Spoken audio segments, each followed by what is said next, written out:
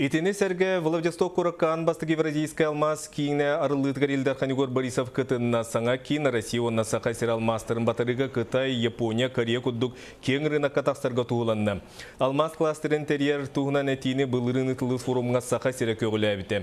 Саңа лоққа келбет кейіне бастық резидент көхінне некетен Алмаға батарыға транспорттан логистикатын үйретен, Республика алмазка сыриоты үрдік сығанаға тақсырын ситиэрге бордық сөпті площадка боларын тоғылы отылыр. Билетен курдуга барга киндер Москвага онна андойдуга икки бара биллер.